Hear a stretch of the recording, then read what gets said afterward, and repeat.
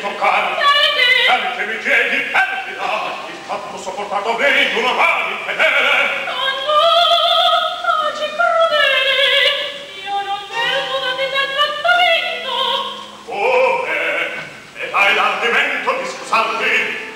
E di non? Abbandonarmi il degne mio non dire? Corri in fronte a un